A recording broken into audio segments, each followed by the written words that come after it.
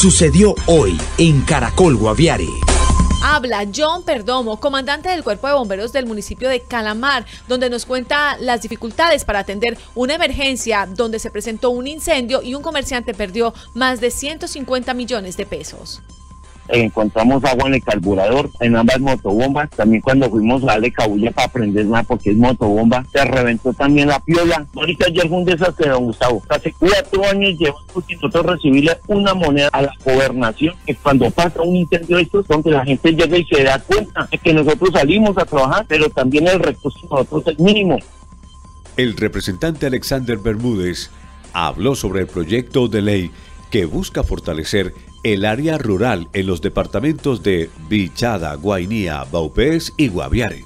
Nos reunimos unos congresistas del sur de Colombia, somos coautores de ese proyecto de ley que va a permitir, es una puerta que abrimos para que las asambleas y consejos de estos departamentos como el Putumayo, como el Guaviare, entre otros, puedan tener posibilidades de recursos de a través de una estampilla pro hospitales y puestos de salud rurales.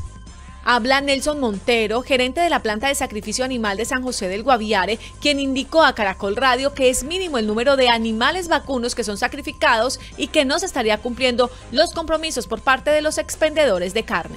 Hicimos casi más de 200 bovinos por debajo de la línea de la meta mínima esperada y eso que es meta mínima. Uno, eh, esta planta está dispuesta a más de 650 bovinos mes y en mes y medio tan solo montamos 483 y sin embargo pues sí se supo de, de muchos sitios que aún seguían ingresando carne clandestina al departamento.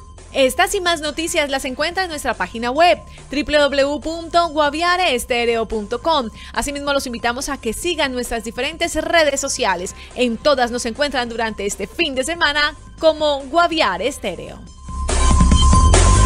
Hoy por hoy Guaviare, de lunes a viernes en Caracol Radio 102.3 FM.